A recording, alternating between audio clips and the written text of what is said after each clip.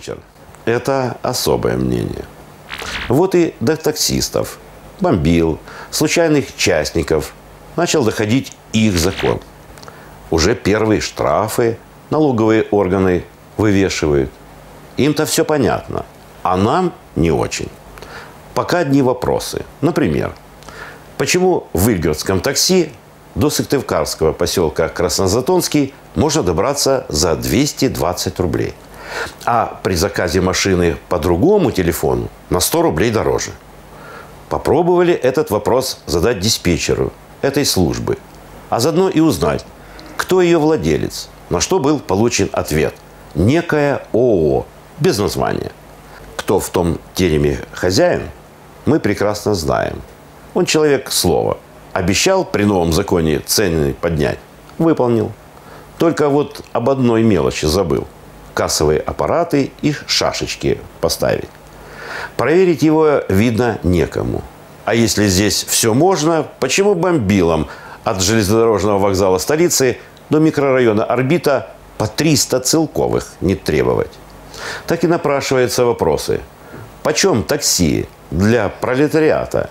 Или для кого и власть вообще-то на местах этим процессом совместно с налоговиками руководит, не знают или не умеют. Есть положительный опыт в Санкт-Петербурге, даже в Котласе есть. Не лучшая картина и с другим пассажирским транспортом. В столице или морально устаревшие, порой ржавые пазики раскатывают, или купленные за бесценок в Германии и даже Корее с иероглифами автобусы. Почему, например, в Чебоксарах, Ешкарале новенькие автобусы бегают? Даже к нам за пассажирами приезжают. А у нас весь хлам собрали.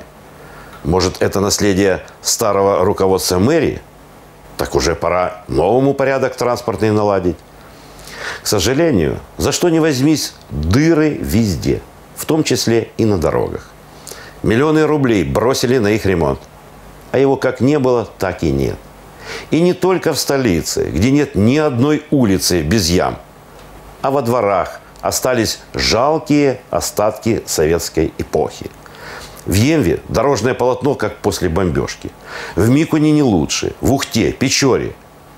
В Ильгарте центральная дорога сделана на совесть. А рядом можно и без колес остаться. Хотя чего мы жалуемся? Ну, подумаешь, на дорогах ямки. Поезжайте в гости, например, в поселок Вожский Ударского района. Еще вчера там можно было ездить только на танке.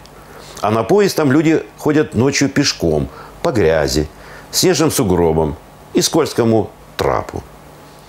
Почему такое происходит в 21 веке? Ответ «виновные дураки» и «дороги» на этот раз не принимается. Если в начальниках дураки, нужно менять на умных а кое-кого и сажать давно пора. Арифметика даже троечнику посильна. Предлагаем несколько задач с ответами. Первое. Сколько за поездку в такси платит пассажир? И куда идет эта сумма? Ответ.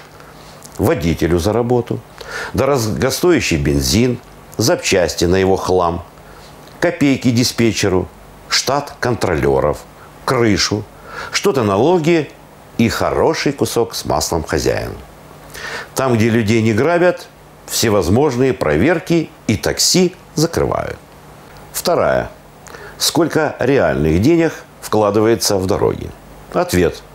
Определенная сумма идет нужным людям. Приобретение некачественных материалов. Изготовление покрытия с нарушением технологии. Небольшой зарплаты, зачастую наемным рабочим со стороны и штату – естественно, его руководителю. Старшее поколение еще, наверное, не забыло классический фильм, где учительница объясняет урок будущим большевикам с помощью кукиша. Может быть, этот пролетарский символ сегодня показывают нам? Всего доброго. До встречи.